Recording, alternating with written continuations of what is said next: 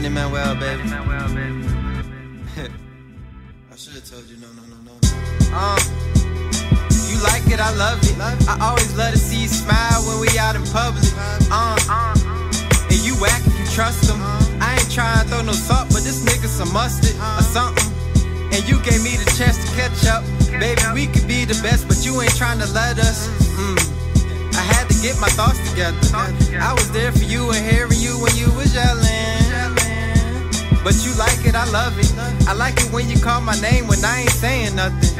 All them pictures that you sent me got my heart bubbling. I was trying to put my key in you and start something.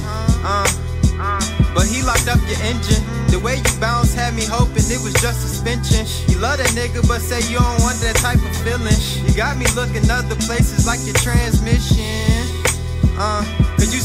up. I know you listening and thinking like, what the fuck? I'm really tripping off decisions that you made for us. I was really gonna knock you down and knock you up.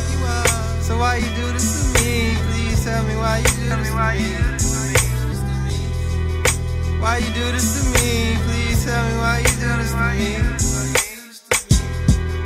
Why you do this to me? I was really chilling with you with my heart in my sleeve. I was really.